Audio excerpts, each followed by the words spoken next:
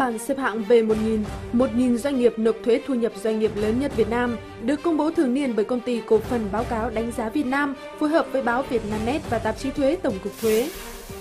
Đây là năm thứ hai bảng xếp hạng V1000 được công bố và xây dựng dựa trên bộ cơ sở dữ liệu đóng thuế của các doanh nghiệp trong 3 năm, từ năm 2008 đến năm 2010. Lễ công bố bảng xếp hạng V1000 năm 2011 ngày 22 tháng 11 năm 2011 tại Trung tâm Hội nghị Quốc gia thành phố Hà Nội. VITV hân hạnh bảo trợ thông tin cho sự kiện này.